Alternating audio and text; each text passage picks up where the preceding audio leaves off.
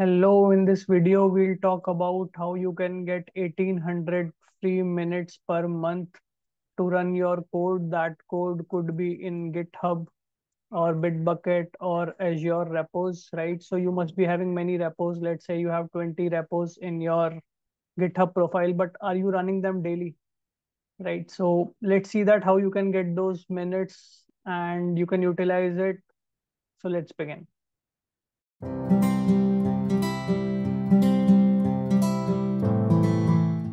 So let's understand that whether you need those 1800 minutes from Microsoft in their Azure cloud or not, right? So when you run your program or automation in the local, what do you need? You need these things, right? You need IntelliJ or Eclipse, or you use Visual Studio Code. And apart from that, you need the programming language to be installed in your systems, Java, C Sharp, Python, or any other that you are using apart from that you also use some uh, build agents like Maven and you run locally a command called as mvn test, right? By which you can run it without using this IntelliJ. And all of this is kept in a, is installed on something called as an operating system, right? And all of this is part of your laptop or computer you are using where all of this is running. And when you want to run this code in an unattended manner, right? You use softwares like Jenkins, sometimes which also you run on your system and your laptop has to be switched on, right? And to run this, if you want to run locally, there is an another alternative. How about if all of this is running on a remote computer, right? And then you need not to have your laptop on, right? And how about if all these softwares are already installed there and they are all always updated? So this facility is provided by Microsoft by providing you something called as agents. Okay, they give you agent. The agent could be, you can tell that I want a Windows agent or I want a Linux agent, which could be an Ubuntu one.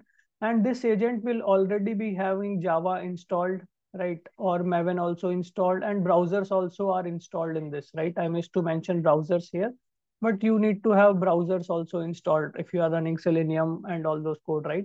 So all of this is installed here. Now, if you see, this is a hardware, right?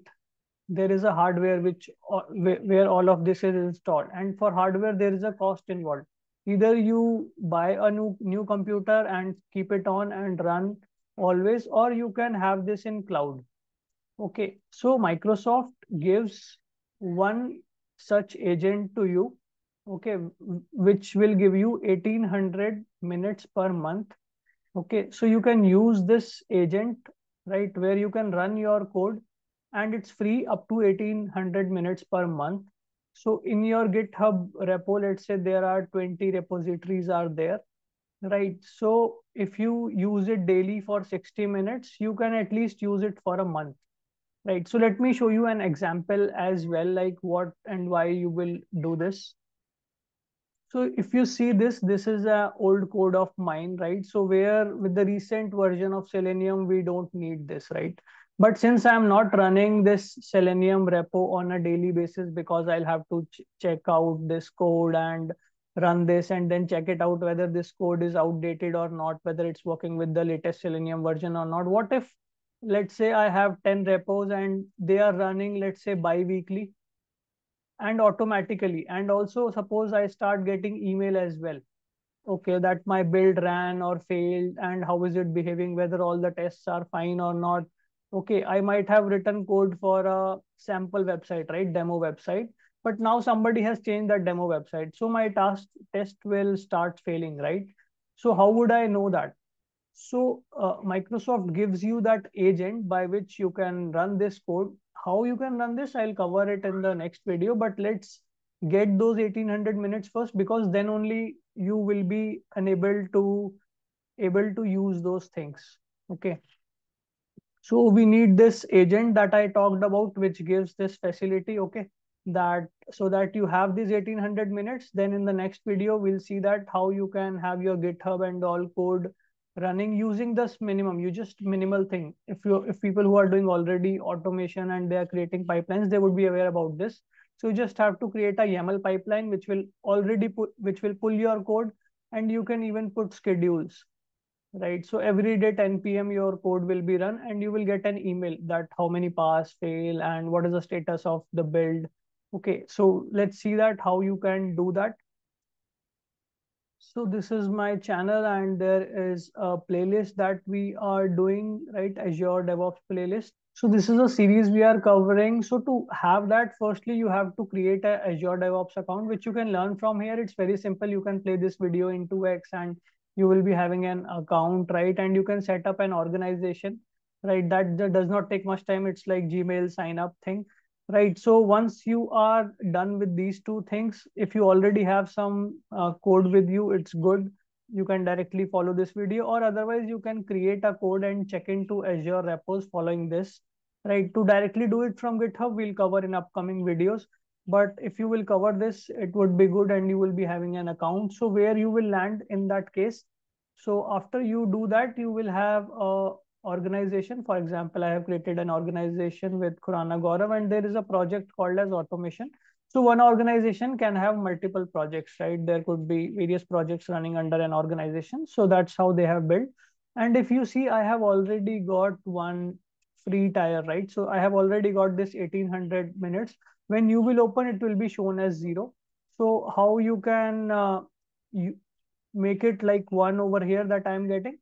So if you see when I run my first code in the pipeline, right we'll cover all of this in the upcoming videos. You will see that i got an error that i don't have uh, i don't have purchased any parallelism. So this is the form. I will share the link of this form in the description of this video right? So you can open this link. This link will open like this.